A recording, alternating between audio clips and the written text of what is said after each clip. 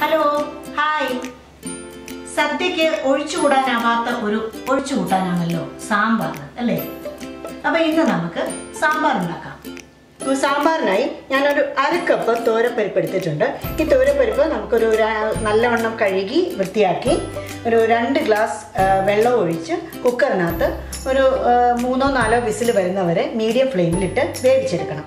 പിന്നെ വേണ്ടത് കുറച്ച് പച്ചക്കറികളാണ്. അപ്പോൾ ഇതിപ്പോൾ ഞാൻ എടുത്തിരിക്കുന്നത് വെള്ളരിക്ക കുറച്ച് പീസസ് എടുത്തിട്ടുണ്ട്. അത് തീരെ ചെറുതായിട്ടല്ല കട്ട് ചെയ്തിരിക്കുന്നത്. നമുക്ക് ഇഷ്ടമുള്ള വെജിറ്റബിൾസ് ഇടാം. വെള്ള വെള്ളരിക്ക അല്ലെങ്കിൽ കുമ്പളങ്ങ ഇടാം. നിങ്ങൾ ഇഷ്ടം പോലെ ഏതാണെന്ന് വെച്ചാൽ ഇടാവുന്നതാണ്. പിന്നെ കുറച്ച് പൊട്ടറ്റോയുടെ കഷ്ണങ്ങൾ എടുത്തിട്ടുണ്ട്. പിന്നെ ചെറിയ ഉള്ളിയാണ് ഞാൻ എടുത്തിരിക്കുന്നത്. വേണമെങ്കിൽ സവാള എടുക്കാം. ചെറിയ ഉള്ളിക്കാണ് ഒന്നുകൂടെ ടേസ്റ്റ് വരുന്നത് അതുകൊണ്ട് ഞാൻ കുറച്ച് ചെറിയ ഉള്ളി എടുത്തിട്ടുണ്ട്. സവാളയാണ് എടുക്കുന്നതെങ്കിൽ ഒരു വലിയ സവാള കട്ട് ചെയ്തിട്ട് എടുക്കാവുന്നതാണ്. പിന്നെ എടുത്തിരിക്കുന്ന ചേമ്പാണ്. ഒരു അഞ്ച് ആറോ ഏഴോ പീസ് ചേമ്പും കട്ട് ചെയ്തെടുത്തിട്ടുണ്ട്. അതും ചെറുതായിട്ടല്ല വലുതായിട്ടാണ് കട്ട് ചെയ്തിരിക്കുന്നത്. ചേമ്പിടുന്ന ഒരു സാമ്പാറിനൊരു ടേസ്റ്റാണ് പിന്നെ മുരിങ്ങയ്ക്ക എടുത്തിട്ടുണ്ട്. മുരിങ്ങയ്ക്ക ഞാൻ ഒരു മുരിങ്ങയ്ക്ക ഒന്ന് കട്ട് ചെയ്തിട്ട് രണ്ടായിട്ട് ഒന്ന് കീറിയിട്ടിട്ടുണ്ട്. പിന്നെ രണ്ട് മൂന്ന് പച്ചമുളകുണ്ട്. പിന്നെ എടുത്തിരിക്കുന്നത് തക്കാളി. ഒരു ഒരു ചെറിയ തക്കാളി കട്ട് ചെയ്തെടുത്തിട്ടുണ്ട്. പിന്നെ വഴുതന വഴുതനങ്ങ കത്രിക്ക. അതും ഒരെണ്ണം ഈ ഈ വലുപ്പത്തിൽ കട്ട് ചെയ്തെടുത്തിട്ടുണ്ട്. ഒരുപാട് ചെറുതാക്കാൻ പാടില്ല. പിന്നെ വെണ്ടയ്ക്ക ഒരു നാലോ അഞ്ചോ വെണ്ടയ്ക്കായും കട്ട് ചെയ്തിട്ടുണ്ട്. ഈ വെണ്ടയ്ക്കയും ടൊമാറ്റോയും വഴുതനങ്ങയും കൂടെ ഞാനൊന്ന് വഴറ്റിയിട്ടാണ് ചേർക്കുന്നത്. വേവിക്കുന്ന കൂട്ടത്തിൽ നേരെ ആദ്യമേ ഇടാറില്ല. വഴറ്റി കഴിഞ്ഞിട്ട് ഇടാറുള്ളൂ. അല്ലെങ്കിൽ ഈ വെണ്ടയ്ക്കയൊക്കെ വെന്ത് കഴിയുമ്പോൾ അതിന്റെ ഒരു ഒരു കിഴികിഴിപ്പുണ്ട്. അത് ശരിയാവില്ല സാമ്പാറിന്. അതുകൊണ്ട്. പിന്നെ വേണ്ട സാമ്പാർ പൊടി എടുത്തിട്ടുണ്ട്. അത് നമുക്ക് നോക്കിയിട്ട് ആദ്യം കുറച്ച് ചേർത്ത് നോക്കിയിട്ട് പോരെങ്കിൽ നമുക്ക് വീണ്ടും ഇട്ട് കൊടുക്കാവുന്നതാണ്. പിന്നെ വേണ്ടത് കുറച്ച് പുളിയാണ്. ഒരു നാരങ്ങ വലുപ്പത്തിലുള്ള പുളി എടുത്തിട്ടുണ്ട്. ഇത് നമുക്ക് വെള്ളത്തിൽ കുതിർത്തെടുക്കണം. അത് ഓരോ പുളിക്കും ചിലപ്പോൾ ചില പുളി പുളിക്ക് കുറച്ചൊരു മധുരരസം കാണും. അപ്പോൾ അതിനനുസരിച്ച് വേണം നമ്മൾ പുളി എടുക്കാൻ പിന്നെ വേണ്ടത് ഒരു ചെറിയ കഷ്ണം കായം എടുത്തിട്ടുണ്ട്. കായ അത് ഞാനൊരു കട്ടക്കായമാണ് എടുത്തിരിക്കുന്നത്. കട്ടക്കായ ആകുമ്പോൾ കുറച്ച് ടേസ്റ്റ് നല്ലോണം കൂടുതലായിരിക്കും അതുകൊണ്ടാണ്.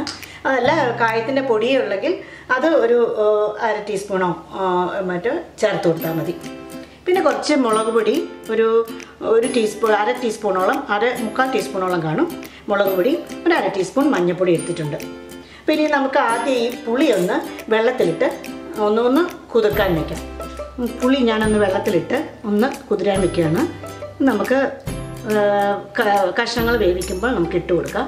അത് അവിടെ നിന്ന് ഒന്ന് കുതിരട്ടെ. പരിപ്പ് ഞാൻ കുക്കറിൽ വേവിക്കാൻ വെച്ചിട്ടുണ്ട്. ഒരു അര അര കപ്പ് പരിപ്പ് ഒരു രണ്ട് രണ്ടര ഗ്ലാസ് വെള്ളം ഒഴിച്ച് ഞാൻ വേവിക്കാൻ വെച്ചിട്ടുണ്ട്. അത് വേവുന്ന സമയത്ത് നമുക്ക് ഈ പച്ചക്കറികളൊന്ന് വേവിച്ചെടുക്കാം. ഞാൻ ഉള്ളി ഒന്ന് ഒന്ന് രണ്ടായിട്ട് കട്ട് ചെയ്തിട്ടിട്ടുണ്ട്. പച്ചമുളക് ഒന്ന് പുളന്നു ഇട്ടിട്ടുണ്ട് നമുക്ക് ഈ അരിഞ്ഞു വെച്ചിരിക്കുന്ന കഷ്ണങ്ങളെല്ലാം ഇതിലേക്ക് മാറ്റാം. വഴറ്റാനുള്ളത് ഞാൻ വേറെ വഴറ്റിയെടുക്കുകയാണ്. അപ്പോൾ ഇത് മൂന്നും ഞാൻ വഴറ്റിയെടുക്കുന്നതാണ്. അത് ഞാൻ വേറൊരു പാനിലിട്ട് വഴറ്റിയെടുക്കും. ഇനി ഇതിലേക്ക് നമുക്ക് കുറച്ച് പച്ച മഞ്ഞൾപ്പൊടി കുറച്ച് മുളക് പൊടിയും കൂടെ ഇട്ട് ഉപ്പും ചേർത്ത് നമുക്ക് വെള്ളം ഒഴിച്ച് വേവിക്കാം. കുറച്ച് ഉപ്പിട്ട് കൊടുക്കാം. ഇതിലേക്ക് വെള്ളവും ചേർത്ത് നമുക്ക് വേവിക്കാൻ വയ്ക്കാം ഞാൻ കഷ്ണങ്ങൾ വേവിക്കാൻ വെച്ചിട്ടുണ്ട്. വഴറ്റാനുള്ള കഷ്ണങ്ങൾ നമ്മൾ ഇപ്പോൾ വഴറ്റിയെടുക്കാം അതിന്റെ കൂടെ ഞാനൊരു കാര്യം മറന്നുപോയി. ഞാൻ കായത്തിന്റെ കട്ട ഇടാൻ മറന്നു പറയാൻ മറന്നുപോയി. ഞാൻ അതും കൂടെ ഇടുകയാണ് ഇതിങ്ങനെ തന്നെ ഇട്ടാൽ മതി. അത് തിളയ്ക്കുമ്പോൾ അത് അലിഞ്ഞു വന്നോളൂ.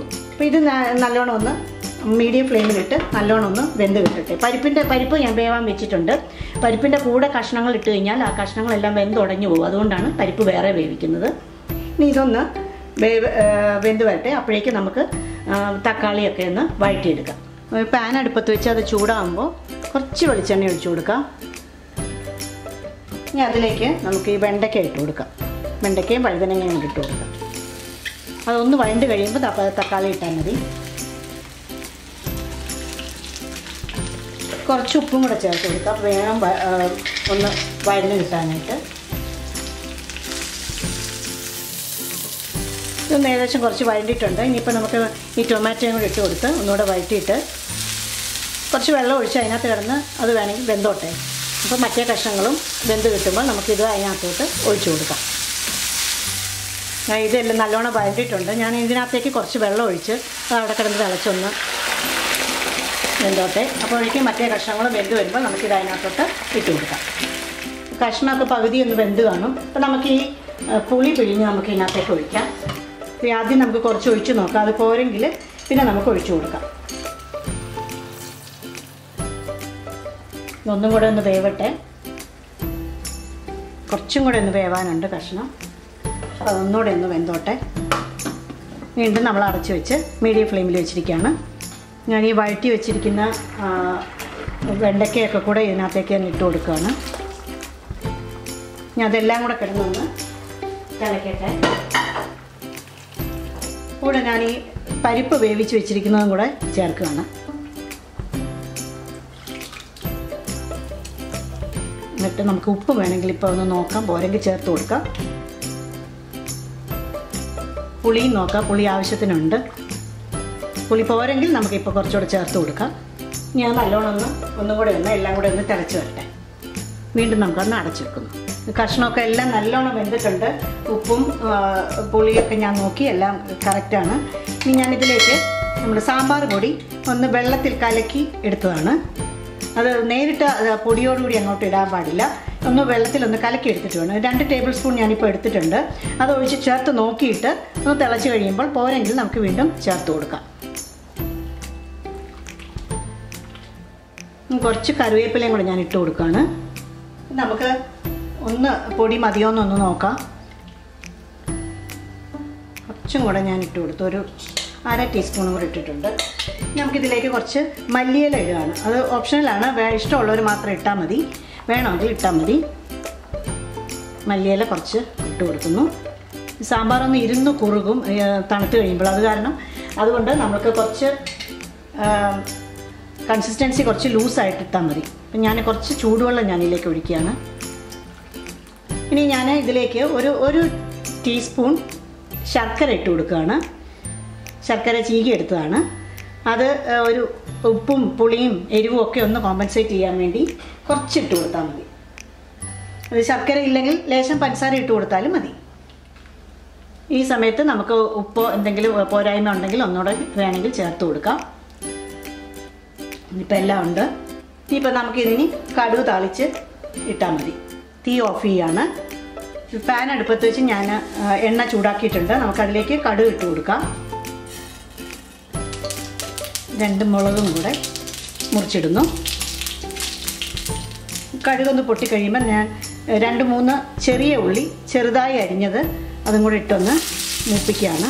അതിടുമ്പോൾ നല്ല സാമ്പാറിനൊരു നല്ല മണവും ടേസ്റ്റും ഒക്കെ കൂടെ കിട്ടും. അതൊന്ന് നല്ലോണം ഒന്ന് മൂക്കട്ടെ. കുറച്ച് കറിവേപ്പിലയും കൂടെ ഞാൻ എന്റെ കൂടെ ഇടുകയാണ്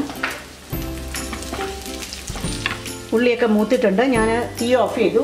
ഇനി ഇതിലേക്ക് നമുക്ക് കുറച്ച് ഉലുവ പൊടിച്ചത് ലേശം ഇടുന്നുള്ളൂ. ഒരു മണത്തിന് വേണ്ടിയിട്ട് നല്ല മണം വരെ ഉലുവ പൊടിച്ചതും കുറച്ച് കായപ്പൊടിയും കൂടെ ഇട്ടൊന്ന് ഇളക്കിയിട്ട് നമുക്ക് സാമ്പാറിലേക്ക് ഒഴിച്ചു കൊടുക്കാം. ആ ഉലുവയുടെയും കായത്തിന്റെയൊക്കെ ഒരു മണം നല്ലോണം വരും. ഇനി നമുക്കിത് സാമ്പാറിലേക്ക് ഒഴിച്ചു കൊടുക്കാം.